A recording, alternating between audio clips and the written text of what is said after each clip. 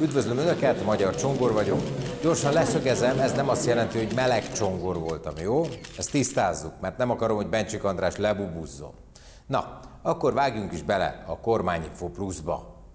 Sajnos ma egy szomorú hírrel kell kezdenem. A kormány megdöbbenéssel tapasztalta, hogy ismét elérhetővé vált a jövő pénteki gyerekzsúr tüntetés oldala a Facebookon. Ezt nem tudjuk másképp értékelni, mint egy újabb támadást a magyar családok ellen. Az algoritmussal dolgozó Zuckerberg láthatóan nem értékeli a vérrel verejtékkel dolgozó nemzeti influencereink erőfeszítéseit, akik számtalan munkaórát tettek bele, hogy az oldal elérhetetlen legyen. Ők ez idő alatt nem voltak a feleségükkel, férjükkel, nem játszottak a gyerekkel, és nem is flexelhettek este tíz után, de a Facebook ura ezt nem értékelte, csak egy pillanat alatt semmisé tette a munkájukat. Adjunk még pénzt, Márk, hogy békén hagyd a magyar családokat? Szent István királyt? Te is a megafonból élsz, mint mi, szóval ne szórakozzunk már egymással. Sokan sérelmezték, hogy miért gyűlöletbeszédként jelentettük a gyerekek védelmére szervezett demonstrációt, nem pedig álhírként vagy külföldi beavatkozásként, ahogy a múlt heti Excelben volt. Nos, itt ismét a hazánk kultúrájának védelme lebegett a szemünk előtt.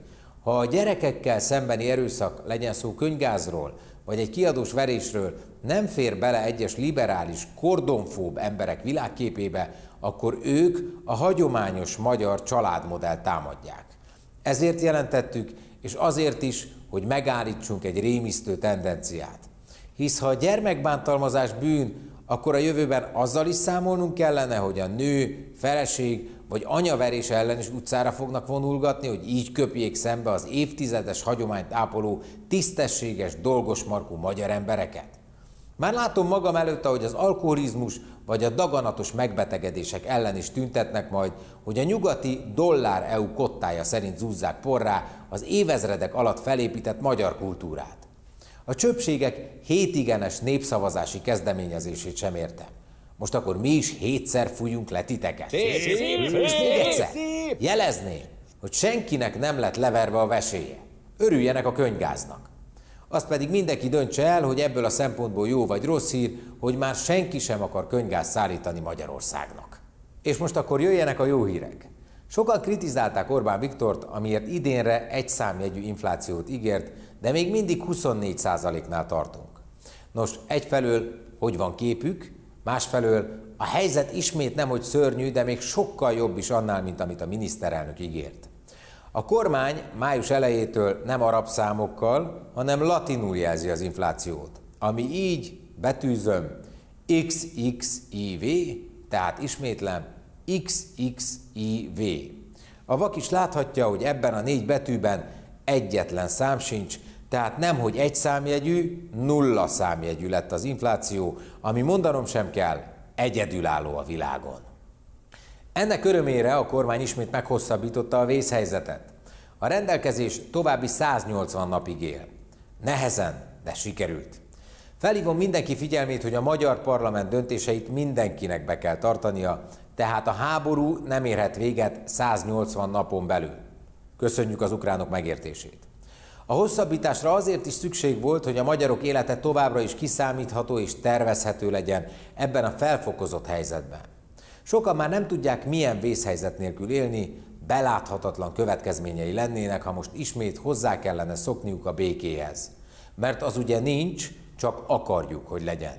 Így mindenki nyugodtan meg tudja tervezni a nyaralását, vagy a felmondását. A fél éves vészhelyzetet nyugodtan írják bele a naptárukba, vagy a bevásárló listájuk végére, ott több haszna van. A tervezhetőség miatt már most jelezném, hogy ha Erdoğan elnök elveszíti a török választásokat, akkor már nem fogjuk bevezetni a tömeges bevándorlás okozta válsághelyzetet, mivel az már 2015 óta él. Vagyis 2010 óta, mert visszamenőleg meghosszabbítottuk a múlt éjjel. Külön öröm, hogy a török elnök választási vereségére tekintettel sikerült végeznünk a keleti pályaudvar felújításával, így később, akár a 2026-os magyar választások előtt is nyugodtan a pályaudvarra lehet majd ereszteni a menekülteket.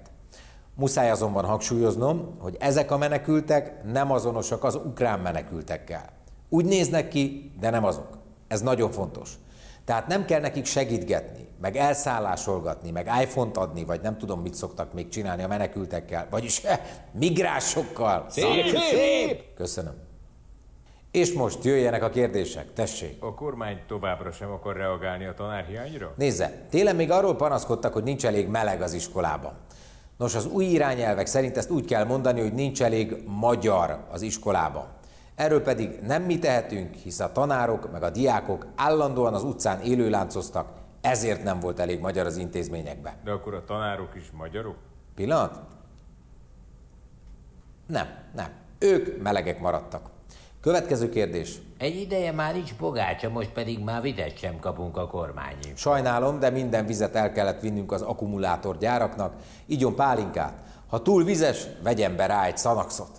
Na, ma ennyi fért bele, köszönöm, hogy itt voltak, jövő héten találkozunk, addig legyenek máshol a viszontlátásra.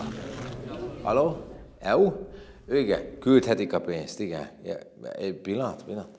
Nagyon akarnak pénzt küldeni. De ha te is küldesz a Patreonra, akkor nem kell elfogadnunk az EU-s dollárokat. Ott a link lent.